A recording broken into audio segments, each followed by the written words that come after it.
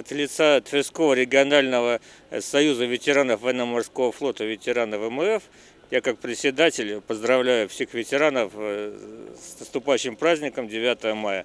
Желаю здоровья, успехов. Дорогие ветераны, поздравляю вас с Днем Победы. Желаю вам счастья, долгих лет жизни и крепкого здоровья. Огромное вам спасибо за то, что вы позволили нам, ну, обеспечили нам будущее. Спасибо вам за эту победу.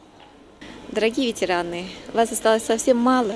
Мы вас поздравляем, желаем здоровья и счастья, и чтобы вас уважала молодежь. Я точно знаю то, что родной брат моей бабушки погиб под Ржевом, вот в Ржевском котле. Вот. Ну, также прадед воевал, тоже, ну, точно не знаю, где там и как. Ну, вот, Ты гордишься ими? конечно. Отец всю войну прошел. Что вы об этом помните? Брат Берлин. Я фильм снял про него. То есть по его, Скажите нам. по его историческим э, записям ездил в Подольск, брал у него значит, его личное дело. Вот.